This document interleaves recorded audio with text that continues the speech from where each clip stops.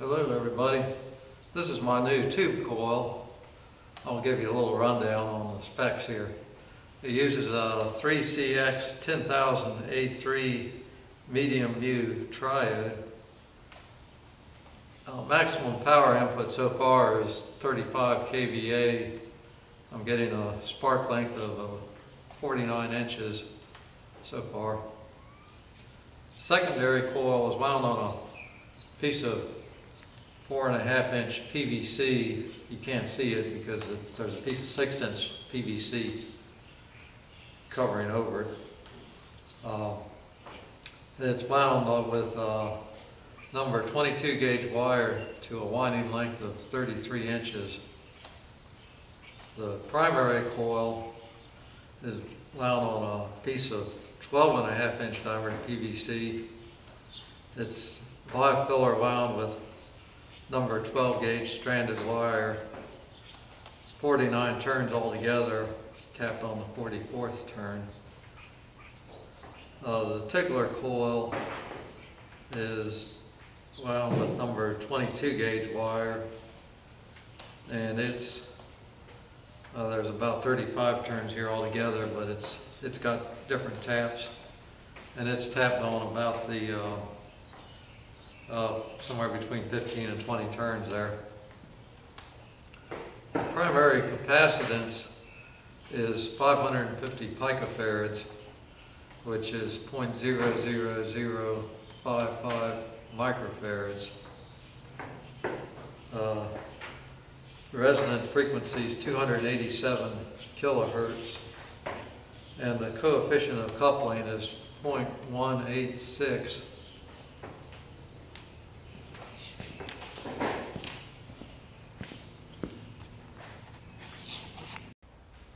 Okay, we'll go in for a closer look here. This is the pole transformer that drives this thing. It's a 7200 volt 5 kVA transformer uh, out of its oil bath and um, using a voltage doubler circuit with it to drive the tube. When I first started building this I didn't think I was going to be using a voltage doubler circuit but uh, I experimented around with it some and uh, I just like the way it works out. I get a lot more power throughput uh, longer sparks. Of course, this, this operates in half wave mode. During one half of the cycle, the coil's doing nothing and the capacitors are getting charged up. And during the other half of the cycle, the energy from the capacitors and the transformer are driving the tube.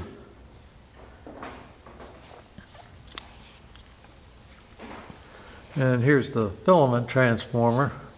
It's a converted microwave oven transformer. Uh, it's seven and a half volts at uh, about 95 amps for the tube filament. I'd uh, kind of jerry rig a tube socket here. Uh, the only tube socket I could find cost about $400. So I, I rigged up these connections for the tube filament.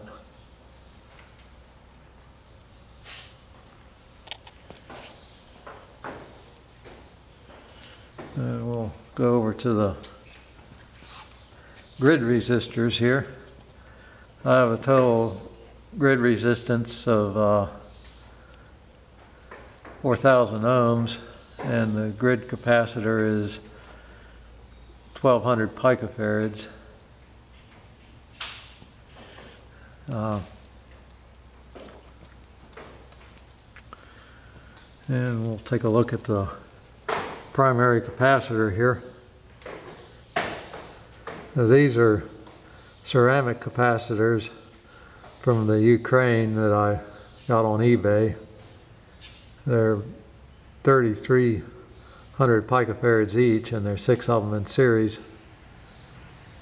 When I was first building this, I was using wine bottle capacitors uh, to get the equivalent amount of capacitance, it took two wine bottles with, with salt water uh, in series. Uh, they they worked reasonably well, but at, at high power, they, they you couldn't run them very long, maybe no more than a few seconds without them breaking. Sometimes. Uh, one thing I like about them was you could tell how much voltage there was in the plate circuit by the amount of corona that I had uh, around the bottle tops. You can see I have a lot of plastic over the secondary coil there. Uh, with a high powered coil like this, there's a tendency for arcing to flash over from the secondary coil to the tickler coil. So I, as you can see, I got a piece of six inch PVC uh, completely covering the secondary coil, which is on the inside there, one on the four inch PVC. And also the eight inch PVC extends up pretty high. It's all to keep the from having flashover from the secondary coil. When I first started running this thing, I had a different primary. I used to have the primary wound on the inner 8 inch piece of PVC uh, right below the tickler coil there. And at that time I wasn't too happy with the performance, so I went to this larger 12 and a half inch diameter primary uh, with number 12 wire uh, it has about the same amount of turns, um, but for some reason the new primary works a lot better. Uh, of course, it does have more inductance, uh, so I'm using a smaller capacitance in, in the tank circuit there. Um, but I don't know if it's the the coverage of the field or if it's uh, or L to C ratio there, what it is, but but it does work a lot better for me. And the other things that seemed to make a pretty big difference was uh, the the coupling. The, like most tube coils, the coupling on this is pretty tight. The bottom of the secondary is about even with the bottom of the primary. Uh, So one, one thing about coupling being that way is uh, when you make changes on your primary taps, if you just change one turn or two turns, it doesn't really change the tuning that much. Uh, you really only notice it if you change a whole bunch of turns. But that and uh, the height of the tickler coil seem to make uh, some difference in in the spark. I got it pretty much the optimum level there for for me. Just for the sake of comparison here, here's my little baby tube coil. It runs at about uh, four to five kilowatts. And I get uh, about two foot long sword-like sparks.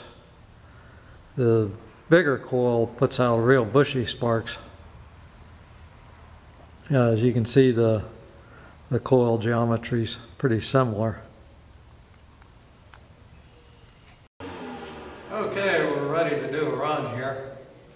I got that metal ball hanging from the ceiling uh, exactly 50 inches above the top of the secondary. And we'll see if the sparks can hit it. Uh, so here we go.